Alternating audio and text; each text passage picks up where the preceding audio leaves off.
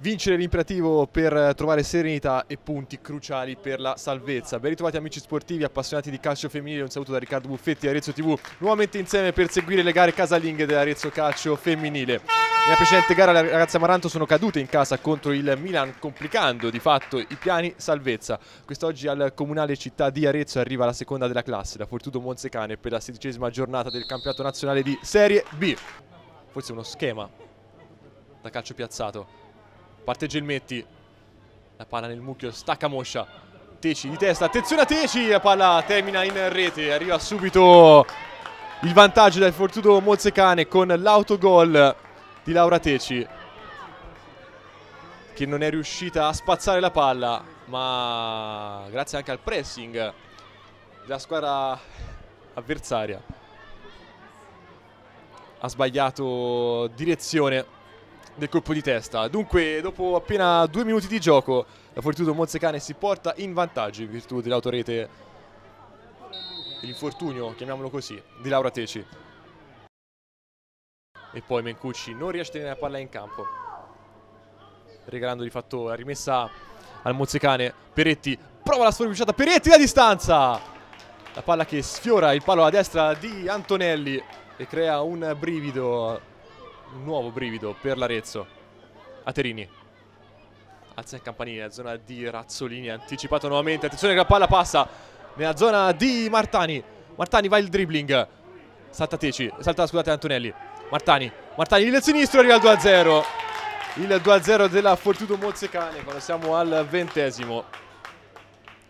Con eh, Martani che prima supera Antonelli poi lascia addirittura rientrare i difensori con tre compagni liberi dentro la di rigore. Riesce comunque a orientarsi e poi a mettere la palla alle spalle di Antonelli. Dunque quando siamo al ventesimo, la Fortuna Mozzecane in vantaggio per 2-0 nel miglior poi momento dell'Arezzo è arrivato questo raddoppio. Aterini, l'intervento poi di Carraro, il tocco sulla sinistra per Gelmetti, posizione regolare 4 contro 1 a parte del Mozzecane. Gelmetti Gelmetti il destro e arriva il 3-0 da parte del Mozzecane al 38esimo Gelmetti in contropiede. Chiude la partita.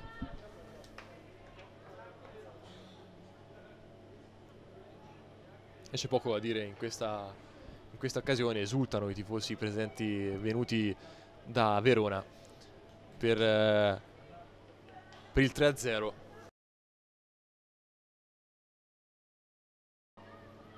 Occhio ai blocchi dentro l'area di rigore. Parte Gelmetti. La palla al centro, il colpo di testa e arriva il 4-0. Il 4-0 con Carraro al 43esimo e non c'è davvero storia in questa partita. Carraro è riuscito a sovrastare il difensore dell'Arezzo e a battere Antonelli, anche se la conclusione era piuttosto centrale. Non ci è arrivato l'estremo difensore dell'Arezzo. 4-0 che di fatto, possiamo dirlo, chiude la partita. Di Fiore non riesce nel controllo, bravissima Groff per il contropiede del Mozzecane. Martani sulla destra, ancora Martani all'indietro per uh, Peretti. Peretti il sinistro da distanza, il palo! E poi arriva il gol di Gelmetti, però la posizione irregolare, ha colpito un palo davvero spettacolare. Peretti da distanza sulla ribattuta era in posizione irregolare Gelmetti serie di finte Razzolini se ne va sul destro prova conclusione Razzolini sul fondo di pochissimo. Ed è questa la Razzolini che vogliamo vedere nelle, durante le partite. Pinna.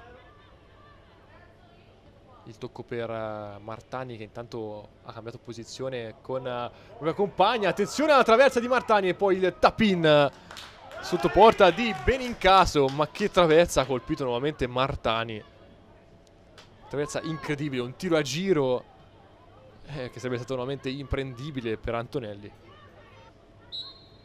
Arriva prima però il triplice fischio e termina 4-0 la gara per il Mozzecane. Il tabellino ci dice dell'autorete segnata dopo due minuti da Teci poi al ventesimo è arrivato il gol di Martani al 38esimo, il 3-0 del primo tempo, del primo tempo ovviamente da parte di Gelmetti, al 43esimo arriva il 4-0 di Carraro. Nella ripresa i ritmi sono abbassati, Arezzo ha provato a far vedere qualche trama di gioco interessante, ma è andata vicinissimo eh, il Mozzecane sempre andare sul 5-0 con Martani che ha colpito la traversa e con il palo preso da Peretti al 22esimo della ripresa. Adesso Arezzo dovrà continuare il Tour de Force settimana prossima quando giocherà in casa dell'Inter e quindi Mister Bonci dovrà preparare molto molto bene quella partita perché potrebbe essere fondamentale per il proseguito della stagione dell'Arezzo.